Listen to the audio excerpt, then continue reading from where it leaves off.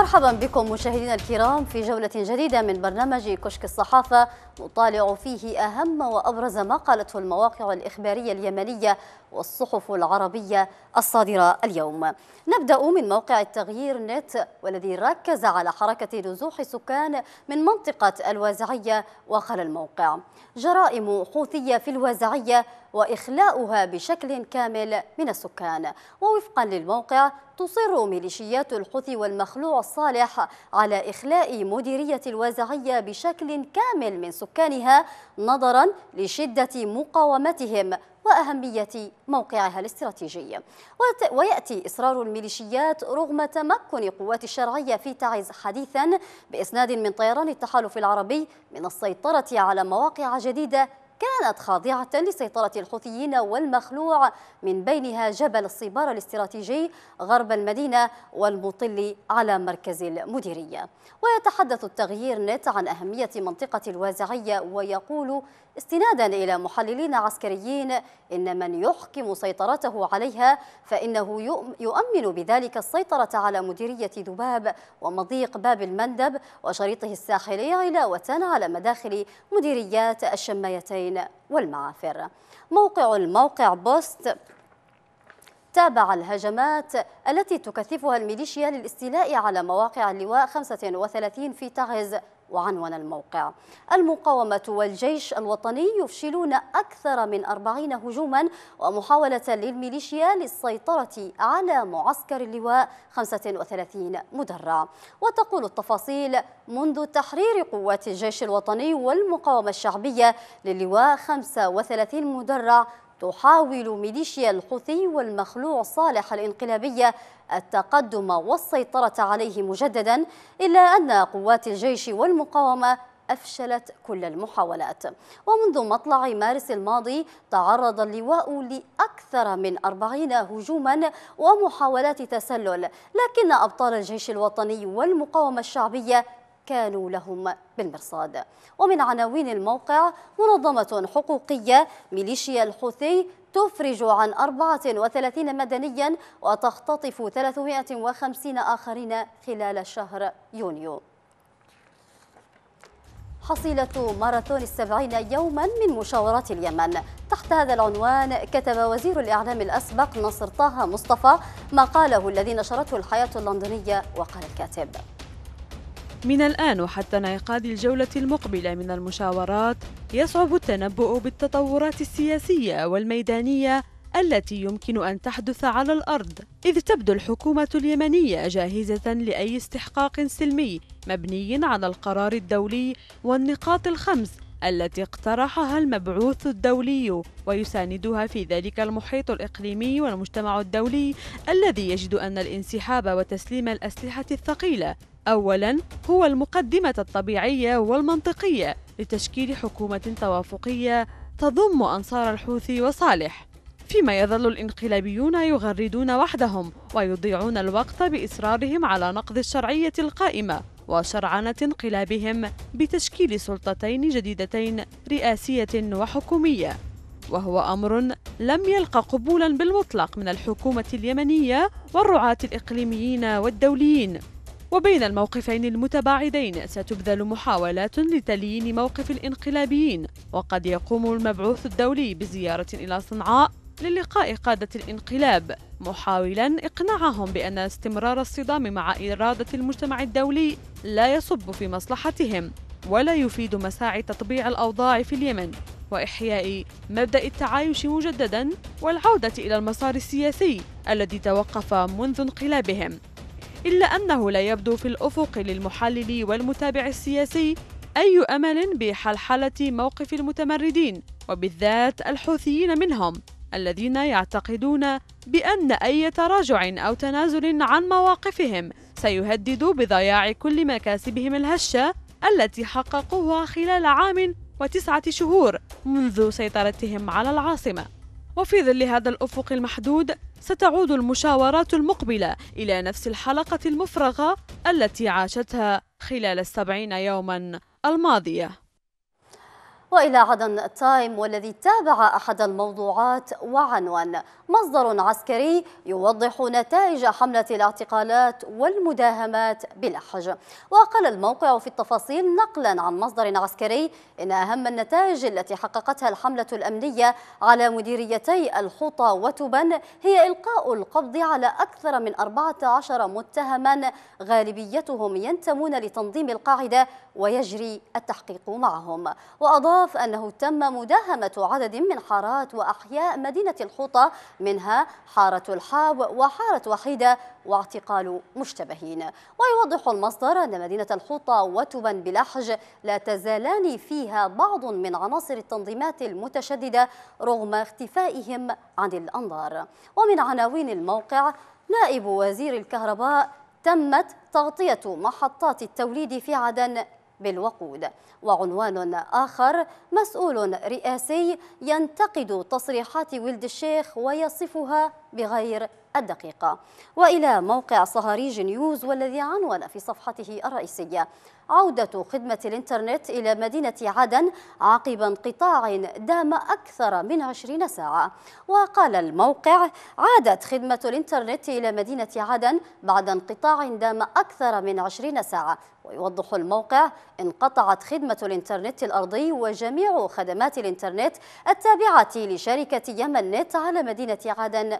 بشكل كامل. وقال مسؤولون في شركة الاتصالات إن انقطاع خدمة الإنترنت كان بسبب خلل فني في شبكة الاتصالات. ومن عناوين الموقع عدن تشهد احتفالات شعبية بذكرى تحرير عدن من ميليشيا الحوثي وصالح. عن الصحفيين والمعتقلين وما تعرضت له حرية, حرية الصحافة كتب مأرب الورد مقالا رصد فيه أبرز الانتهاكات لمن يمارسون هذه المهنة وقال الكاتب. حرب غير مسبوقة في تاريخ الصحافة منذ إقرار التعددية السياسية والحزبية في الثاني والعشرين من مايو 1990 أغلقت فيها الصحف والقنوات وتم حجب المواقع الإلكترونية وتراجعت اليمن في مؤشر الحريات إلى مستويات غير مسبوقة دوليا. أكثر من 13 صحفيا يقبعون في سجونهم المختلفة. عشرة منهم قضوا أكثر من عام تعرضوا خلالها للتعذيب الجسدي والنفسي والحرمان من أبسط حقوق سجين مذنب. فكيف وهؤلاء أبرياء؟ ناهيك عن الأذى الذي لحق أسرهم حتى اليوم. فشلت كل الحملات والمناشدات وبيانات المنظمات الصحفية والحقوقية في إقناع الحوثيين بإطلاق سراح الصحفيين ويتعاملون مع أي تحرك من هذا النوع بالتجاهل. وفي أحيان أخرى يتهمونهم بما ليس فيهم بل وصل بهم الحد إلى الاعتداء على أمهات الصحفيين أثناء تنظيمهن وقفات احتجاجية. أمام مكتب النائب العام في العاصمة صنعاء للمطالبة بالإفراج عن أبنائهن ويحرمهن من زيارتهم في فترات متقطعة. أفرج الحوثيون عن مواطنين أمريكيين مع أنهم ينتمون إلى بلاد العدوان التي اعتذروا لها خلال لقاء وفدهم مع وكيل وزارة الخارجية بالكويت. لكنهم لم يطلقوا سراح صحفيين يمنيين هم مواطنون قبل كل شيء. قضية الصحفيين هي الاختبار الذي فشلت فيه الأمم المتحدة ومبعوثها إلى اليمن وعجزوا عن الضغط لإطلاق سراحهم وقابلوا تحويلهم إلى ورقة تفاوض مع ميليشيات متمردة في شرعية المنظمة الدولية. موقع المصدر أونلاين عنون في صفحته الرئيسية. الحكومة تؤكد على تمسكها بالمرجعيات وتقول إن خلافها مع الانقلابيين ما يزال جوهريا حيث قال بيان للوفد إن الخلاف ما يزال مع الانقلابيين خلافا جوهريا بسبب رفضهم الالتزام بالمرجعيات أو المبادئ والإجراءات المطلوب اتباعها لإنهاء الانقلاب وجميع الآثار المترتبة عليه. وذكر البيان بأن مشاورات الكويت التي يقودها المبعوث الأممي لم يتم الاتفاق فيها على أي شيء من القضايا الرئيسية المحددة في جدول الأعمال. وأكد الوفد على أن أي محاولة لشرعنة الانقلاب تحت أي مسمى أمر لا يمكن القبول به موقع يمن مونيتور عنون في صفحته الرئيسية. بن دغر الحكومة لن تقبل ببيع النفط والغاز لتذهب عائداته للبنك المركزي ولعاصمة محتلة. ينقل الموقع في التفاصيل عن رئيس الحكومة اليمنية أحمد عبيد بن دغر قوله إن حكومته لا تتحمل مسؤولية كاملة عما لحق بالبلاد من دمار صنعته سنوات طويلة من سوء الإدارة وفساد السياسات الاقتصادية. وهاجم بن دغر المجتمع الدولي الذي يصر على توريد موارد الدولة إلى البنك المركزي الواقع تحت سيطرة الحوثيين وقال إن ما وصفها بالسياسة البلهاء وما سميت بالهدنة الاقتصادية التي فرضتها بعض الدوائر النافذة في السياسة الاقتصادية العالمية مع بداية الأزمة شجعت الحوثيين على التمادي في قطع الجزء الأكبر من المرتبات والمبالغ المخصصة لدعم وشراء المشتقات النفطية. وأعلن بن دغر أن اليمن لديها القدرة على التصدي لكل هذه المشكلات لو سمح للحكومة الشرعية فقط بالمضي قدما في بيع وتسويق نفط المسيلة وتحرير نفط رأس عيسى من سيطرة الحوثيين. وعلى المجتمع الدولي أن يعرف ذلك. قبل مطالعة أهم ما قالته الصحف العربية الصادرة اليوم نذهب إلى فاصل قصير. ابقوا معنا.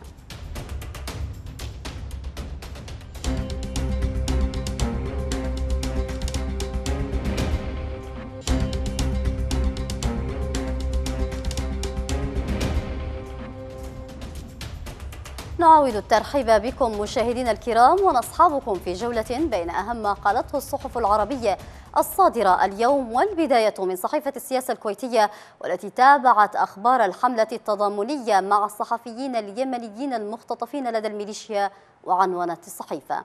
حملة دولية للإفراج عن الصحفيين اليمنيين المختطفين بسجون الحوثيين. وتقول التفاصيل أطلق ناشطون وصحفيون وحقوقيون يمنيون حملة دولية تضامنا مع زملائهم الصحفيين المختطفين من قبل مسلحي جماعة الحوثي وحلفائها. وجاءت الحملة التي حملت عنوان أنقذ الصحفيين اليمنيين بالتعاون مع مراكز إعلامية يمنية ومنظمات حقوقية ومبادرات شبابية وبالتنسيق مع نقابة الصحفيين اليمنيين. وأطلقت الحملة بهدف المطالبة بالإفراج عن الصحفيين المختطفين بسجون الحوثيين وإيقاف الانتهاكات بحق الصحافة اليمنية واستهدفت تجديد الدعوة للحوثيين وحلفائهم إلى سرعة الإفراج عن الصحفيين المختطفين وكذلك دعوة الأمم المتحدة ومبعوثها إلى اليمن إسماعيل ولد الشيخ وجميع المنظمات الحقوقية والإنسانية. وقال شهود عيان لصحيفة الاتحاد أنهم رأوا مواكب سيارات تابعة للمتمردين تقل العديد من جثث قتلى وجرحى المواجهات العنيفة والغارات الجوية لطيران التحالف العربي التي تركزت على مواقع في حريب نهم. وقالت مصادر محلية أن غارات التحالف استهدفت أيضا مواقع للمتمردين في مديرية سرواح غرب مأرب بالتزامن مع تصاعد الاشتباكات في نهم وبني حشيش.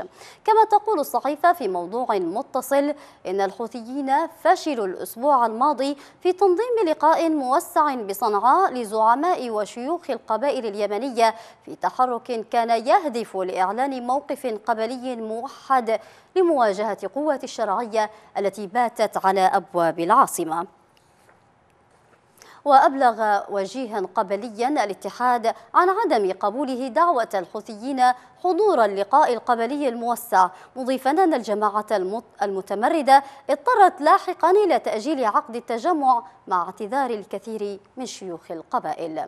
وإلى صحيفة البيان الإماراتية والتي عنونت في إحدى صفحاتها منظمة حقوقية المتمردون أفرجوا عن 34 سجينا سياسيا فقط. تقول الصحيفة في التفاصيل استنكرت المنظمة الوطنية للتنمية الإنسانية التطورات الخطيرة لملف المختطفين الذين تم أخيرا إحالة أكثر من أربعين شخصا بينهم إلى النيابة الجزائية المتخصصة بينهم أحد عشر إعلاميا مضى على احتجازهم أكثر من عام. ودانت المنظمة في بيان ترويج وسائل إعلام جماعة الحوثي والرئيس المخلوع لأرقام مبالغ فيها. تقول إنهم سجناء سياسيون تم إطلاق سراحهم من سجونها بينما يثبت الواقع عكس ذلك تماما حيث لا يتجاوز عدد المفرج عنهم من سجناء الرأي والمعتقلين السياسيين 34 شخصا من أصل 2981 مختطفا مدنيا. التنظيم الدولي تحت هذا العنوان كتب جمال خاشقجي ما قاله المنشور في صحيفة الحياة وقال الكاتب لماذا فشلت مفاوضات الكويت؟ ولماذا لا ينبغي التفاؤل بأن يجنح الحوثيون للسلم عندما تعقد الجولة الثانية منها؟ ولماذا غامر حسن نصر الله بسمعته وبحزبه وبكل مكتسباته في لبنان وألقى برجاله في أتون الصراع السوري؟ ولماذا لم ولن يستمع قادة حزب الدعوة الحكم الحقيقي في العراق إلى مواطنيهم الشيعة وهم يدعونهم إلى وقف الفساد والطائفية بل زجوا بهم في مزيد من الطائفية والفتن. ولماذا لم يستجب قادة الوفاق في البحرين لعروض الشراكة المغرية؟ الإجابة بسيطة لأنهم أعضاء في التنظيم الدولي الإيراني يسعون بجهد ودأب شديدين في مشروع أصولي طائفي لمد نفوذ الجمهورية الإسلامية الإيرانية إلى خارج حدود إيران السياسية التي لا يرونها دولة ذات حدود محكومة بالشرعية الدولية. بل شيئا أشبه بنظام أممي أو كأنها الخلافة الإسلامية ولكن من دون تعدديتها والتي حتى عندما ضعف نفوذها وتفتتت دولتها إلى ممالك مستقلة ظل المسلمون من مروحة القاهرة يدعون لخليفة لا يحكمهم ولكن الولي الفقيه يأمر ويحكم من طهران ويوجه من خلال عشرات المؤسسات ويجتمع مع مندوبيه وممثليه بالدول المجاورة والذين أقسموا له يمين الطاعة في المنشط والمكره. وباتوا لا يخفون ولاؤهم وتبعيتهم المباشرة له وإيمانهم بأنه ولي أمر المسلمين في السياسة قبل الفقه.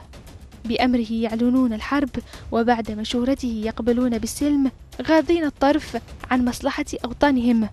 فهم لا يرون في البحرين أو لبنان أو سوريا أو العراق وطنا وإنما يعيشون في ظل ولاية لا حدود جغرافية لها. صحيفة العرب الجديد تابعت تطورات الوضع الاقتصادي وعنونت. أزمة سيولة تضرب المصارف التجارية في اليمن. وقالت الصحيفة في التفاصيل تعاني المصارف التجارية اليمنية منذ أسبوع من نقص في السيولة النقدية بالعملة المحلية ما ينذر بالعجز عن صرف رواتب موظفي الدولة ويفاقم الوضع المعيشي للمواطنين. وتتابع الصحيفة شهد السوق اليمني اختفاء الأوراق النقدية المحلية من فئتي ألف ريال وخمسمائة ريال فيما صرف البنك المركزي رواتب يونيو بأوراق نقدية من فئة 250 ريالا. وقال عملاء لمصارف تجارية إنهم منذ أسبوع يترددون على المصارف لسحب مبالغ من أرصدتهم دون طائل إذ تتذرع لهم المصارف بأن المبالغ غير متوفرة وعليهم العودة خلال أيام. وإلى صحيفة الخليج والتي جاء فيها فيما يخص الشأن اليمني. باحثون فرنسيون يحذرون من الوضع الكارثي لآثار اليمن. تقول الصحيفة في تفاصيلها طالب باحثون فرنسيون مجلس الأمن بإصدار قرار يقضي بمنع تهريب وتداول الآثار اليمنية محذرين من النتائج الكارثية التي تسببت بها الحرب على وضع تراث وآثار اليمن. وأعرب الباحثون عن الأسف على تدمير بعض المباني الأثرية في مدينة صنعاء القديمة والأضرحة التاريخية في حضرموت وكذا سد مأرب التاريخي ومدينة براقش ومدينة سرواح التي تحتضن آثارا تعود إلى ما قبل. الميلاد. ونبهوا إلى خطورة استمرار الصمت إزاء ما تتعرض له آثار اليمن من تدبير مشيرين إلى ما تعرضت له عشرات المواقع من قصف بما فيها المتاحف منها متحف دمار الأمر الذي تسبب في تدمير 12500 قطعة أثرية تعود إلى القرون الوسطى. وإلى صحيفة القدس العربي والتي تابعت الشأن اليمني وعنونت في صفحتها الرئيسية. ردا على ولد الشيخ وفد الحكومة اليمنية ينفي قبول حكومة شراكة مع الحوثيين. تقول الصحيفة في التفاصيل نفى وفد الحكومة اليمنية المشارك بمشاورات السلام بالكويت تعامله مع أي مقترحات أو أفكار أحادية تنتقص من وظيفة ومهام السلطة الشرعية في البلاد ومنها تشكيل حكومة شراكة مع الحوثيين. وأشار الوفد في بيان أصدره أنه لم يناقش أي أفكار أو مقترحات تخالف المرجعيات المتمثلة بقرار مجلس الأمن رقم 2216 والقرارات ذات الصلة والمبادرة الخليجية ومخرجات مؤتمر الحوار الوطني. جاء ذلك فيما يشبه الرد على تصريحات أدلى بها المبعوث الأممي لليمن في مؤتمر صحفي عقده بالكويت. قال فيه إنه سلم طرفي مشاورات السلام اليمنية مقترحا لخارطة طريق في سبيل حل الأزمة تتضمن تصورا عمليا لإنهاء النزاع في اليمن يشمل إقرار الترتيبات الأمنية وتشكيل حكومة وحدة وطنية. عن يوم القدس ويوم صنعاء العالمي. تحت هذا العنوان كتب علي أحمد العمراني وقال في المقال الذي نشره موقع أخبار اليمن. قال العمراني. سيقول التاريخ إن تداعيات ثورة الخميني في إيران 1979 أخطر على العرب من نتائج قيام إسرائيل في فلسطين 1948 وأرجو ألا يقول التاريخ أيضا إن نكبة اليمن باحتلال الحوثي صنعاء وغيرها أخطر من نكبة فلسطين باحتلال إسرائيل القدس وكل فلسطين. قال لي دبلوماسي عربي بعد اجتياح صنعاء من قبل الحوثيين أخشى أن تترك الحوثية آثارها الخطيرة على اليمن لمدة ألف عام قادمة. وتذكرت أن اليمن تعيش تخريبا وتراجعا حضاريا شاملا منذ ألف عام. قبل أسابيع قالت صحيفة الفورين أفيريس الأمريكية إن ما يحدث الآن في المنطقة العربية أقرب إلى ما حدث فيها عند سقوط بغداد في يد المغول قبل أكثر من 800 عام. منذ قيام ثورة الخميني في 1979 لم تتقدم القضية الفلسطينية قيد أنملة إلا ما تراجعت إلى الخلف وتكاد أن تضيع الآن. ومع ذلك يحتفلون بيوم القدس العالمي وهم الذين تسببوا في نكبة كثير من المدن والبلدان العربية. ربما نحتاج في اليمن إلى يوم صنعاء العالمي لإنقاذها من نكبة الحوثي. وقد تحتاج بغداد ودمشق وبيروت إلى مثل ذلك. بهذا القدر من الصحف العربية نكون قد وصلنا إلى ختام حلقتنا لهذا اليوم من كشك الصحافة. إلى أن نلقاكم نترككم في أمان الله وحفظه. وابقوا معنا نتابع معا من مجموعة رسوم الكاريكاتور.